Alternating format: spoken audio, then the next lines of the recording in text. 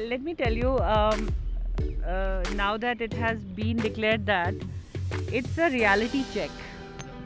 Because when they say that a certain percentage of uh, female officials have to travel with the contingent, actually we are running short of experts.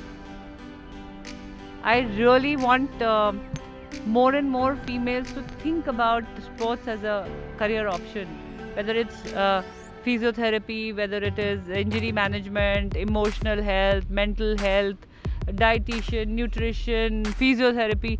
I think um, it's time women should also start choosing uh, sports as a career option and educate themselves for it uh, more and more. Uh, and like in any other uh, section where we are trying to talk about women in leadership roles, we need more women to come forward. So it's it's a huge uh, request from your uh, you know channel through this platform that those who have the expertise, those who have retired from sports, I would really urge most of the women to come back and become a part of the ecosystem because the more you are visible, the more you are there, there is more understanding. PT Usha ji is doing a wonderful job. Maheshwari uh, ji, Kallam, Karnam Maheshwari ji is doing a wonderful. So it it lies on us women also to stay in the game uh, by virtue of some role, some um, you know association, some help